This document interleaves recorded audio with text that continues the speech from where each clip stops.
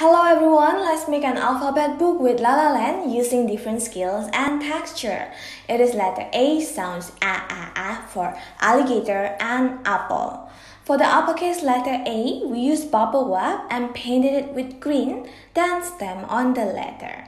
Next, we need to move it to another cardboard paper. So let's spread the glue and stick them together. To make it look like an alligator, we need to add two wiggly eyes. One and two. Do you know the alligator has sharp teeth? So let's add four pieces of triangle white paper as the teeth.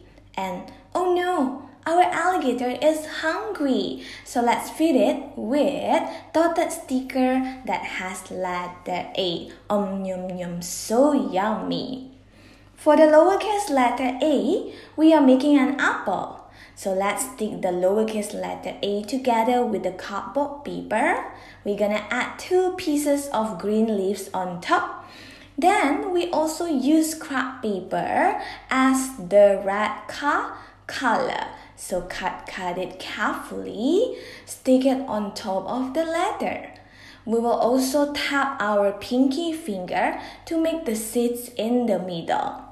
That's it. Follow us for more and comment which one is your favorite. Is it the apple or the alligator?